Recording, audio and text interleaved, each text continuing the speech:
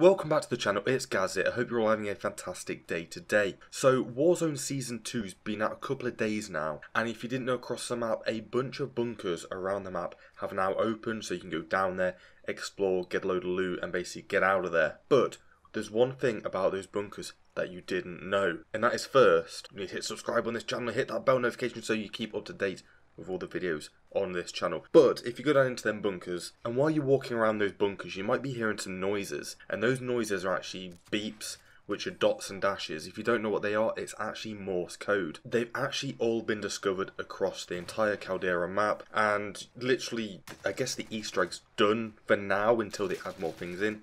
So let's just go over what has been found and what is coming to Warzone Caldera. So if you didn't know, Geeky Pastimes is one of these big Easter egg guys on Call of Duty and other games too, and he's an absolute legend with himself and his Discord and, and everybody that's involved with himself. And they've actually gone across, gone into all the bunkers, got all the Morse codes already, with the season only being out for like 24 hours.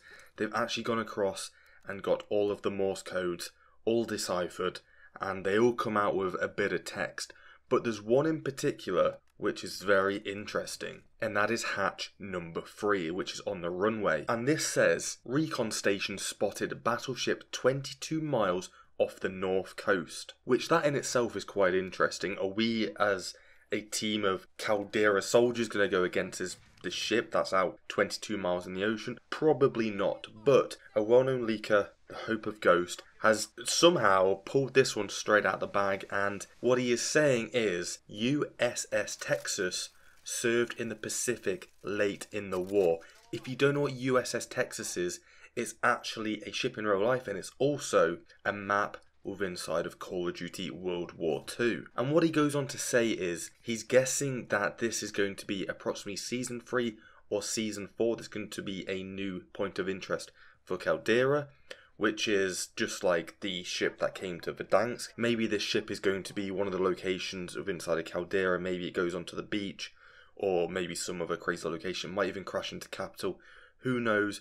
But what he's saying is he's expecting USS Texas to land inside of Season 3 or Season 4 of Warzone slash Vanguard. And of course of a new location coming like USS Texas, which is already a map from World War II, you can expect this map to be coming in Vanguard as well. It fits the scene, it fits the theme, and it just works very, very well. So that is all of the Easter egg news that we have so far. Make sure you let me know all your thoughts down in the comments section below, and we will see you all in the next videos. Thanks for watching, Gaz, and I'm out. Peace.